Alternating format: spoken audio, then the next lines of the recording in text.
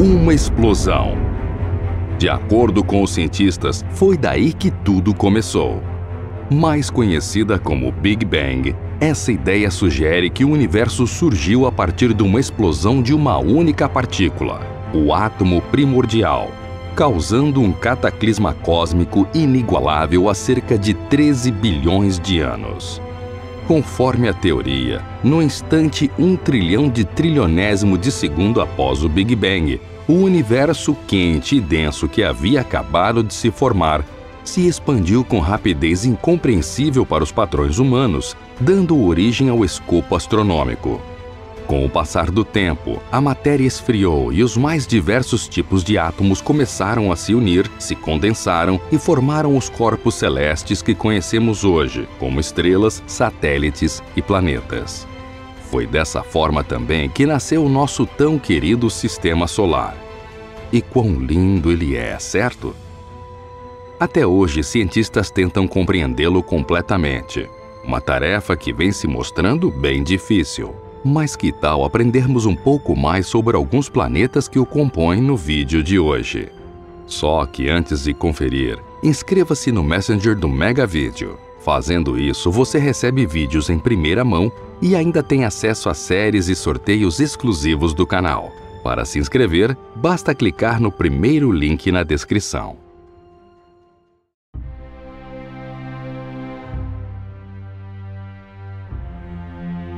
Quando olha para o céu durante uma noite estrelada, qual a primeira coisa que vem em sua mente? Cada pessoa pensa algo, é óbvio, mas o fascínio é sempre o mesmo. É incrível imaginar que tudo que vemos acima é apenas uma pequena fração do universo, dividido em sistemas organizados e em enormes galáxias que se estendem por distâncias incalculáveis. Essa observação levou o homem, ainda no período pré-histórico, a estudar o universo, sendo que as primeiras pesquisas começaram mesmo assim, com a observação do céu em noites estreladas. Muitas civilizações antigas tratavam os astros como divindades.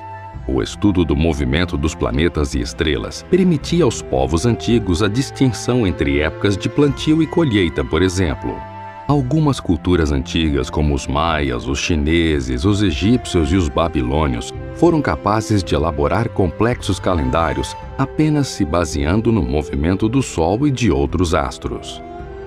Os gregos antigos também contribuíram muito para o avanço da astronomia. Muitos filósofos da Grécia elaboraram modelos com o intuito de explicar o formato da Terra, as estações do ano bem como os movimentos do Sol, da Lua e de planetas visíveis a olho nu. O ápice do sistema geocêntrico que defende a Terra no centro do universo foi o complexo modelo ptolemaico proposto pelo cientista grego Cláudio Ptolomeu.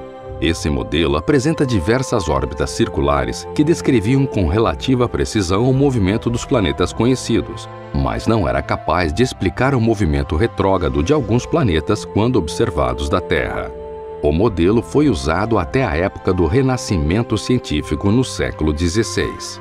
Em 1608, Galileu Galilei enfrentou as ideias geocentristas da época, bem como a visão de imutabilidade dos astros proposta por Aristóteles. Aperfeiçoou o telescópio e utilizou-o para observar as crateras da Lua, as fases de Vênus e descobriu os satélites naturais de Júpiter, as luas Lou, Ganimedes, Calisto e Europa um enorme avanço para a história da astronomia.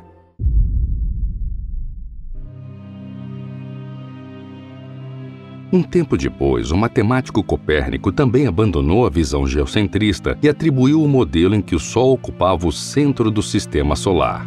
Nesse modelo, a Terra deixava de ser protagonista e passava a orbitar o astro-rei em uma trajetória circular, completando uma volta a cada ano.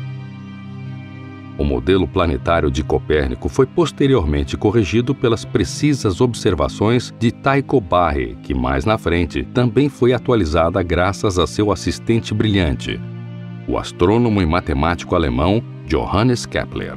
Ele revolucionou a mecânica celeste quando enunciou três leis que regem as órbitas planetárias, descrevendo-as como elipses e não como círculos como até então se acreditava. Anos mais tarde, munido das grandes contribuições de Copérnico, Galileu e Kepler, Isaac Newton elaborou sua lei da gravitação universal, explicando o fenômeno da gravidade e a dinâmica planetária de forma inédita. Atualmente, sabemos bem o alto nível em que a astronomia se encontra.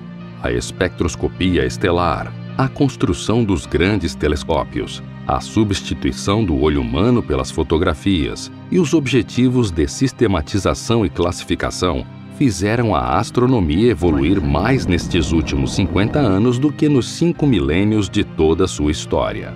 Foi pensando em como explorar da melhor forma o universo que o telescópio Hubble foi criado pela equipe da NASA. Esse telescópio é simplesmente o mais importante de todos os telescópios que já foram construídos no mundo. Sim, não estamos exagerando. Isso porque ele fica no espaço, livre das interferências da atmosfera terrestre, o que permite a ele registrar imagens precisas de lugares distantes do universo. Imagens simplesmente exclusivas. Projetado e construído nas décadas de 70 e 80, o telescópio Hubble leva o nome do astrônomo americano Edwin Powell Hubble, que foi o primeiro a conseguir provar que as até então chamadas nebulosas eram na verdade galáxias independentes, assim como nossa Via Láctea. Foi ele também o primeiro a notar que as galáxias estão se afastando, dando subsídios para a teoria do Big Bang, que atualmente é bem mais aceita do que era no passado. O famoso telescópio Hubble, que agora sabemos de onde foi inspirado, foi lançado em 34 de abril de 1990 pelo ônibus espacial Discovery na Flórida, nos Estados Unidos. Era o início de uma nova era nos estudos espaciais. O Hubble revolucionou a forma do ser humano observar o universo.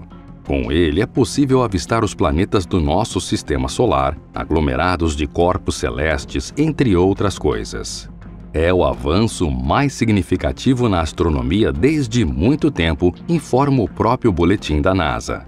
Equipado com lentes que podem detectar tanto a luz visível quanto a infravermelha, ele é do tipo refletor Ritchey-Chrétien, o que quer dizer que seu principal elemento óptico é um espelho.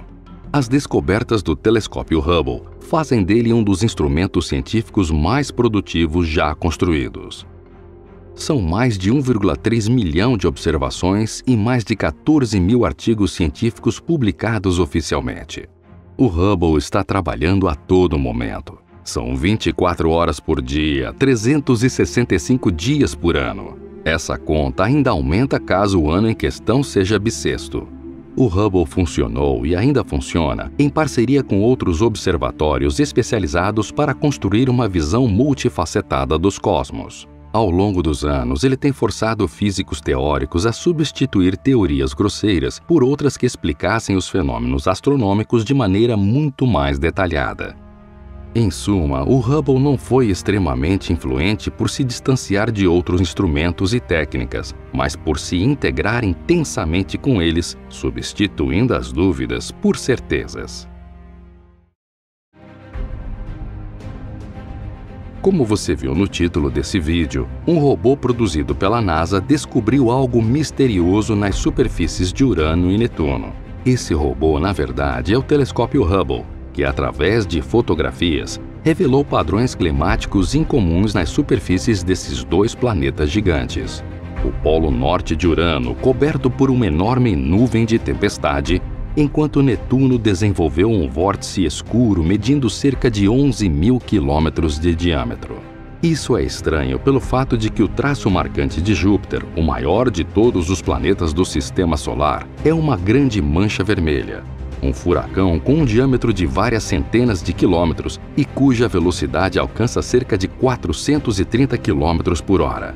Durante muito tempo, esse foi considerado um traço único do maior gigante gasoso do sistema solar. No entanto, desde o ano de 1980, os cientistas começaram a duvidar desse fato. Dois anos atrás, o Hubble captou fotos detalhadas de Netuno que confirmam a existência em sua atmosfera de turbilhões de duração relativamente curta em comparação com as estruturas seculares de Júpiter. Essa descoberta atraiu a atenção da comunidade científica para o oitavo planeta do Sistema Solar e levou à investigação do fenômeno. E essa investigação veio mesmo. Mais recentemente, em setembro de 2018, novas imagens do Hubble indicam o surgimento de uma grande mancha em Netuno, assim como os estudiosos suspeitavam. Segundo os astrônomos, dentro dessa grande mancha poderia caber a Terra, já que seu diâmetro se aproxima de 11 mil quilômetros, sendo, portanto, bem maior que aquela vista em Júpiter.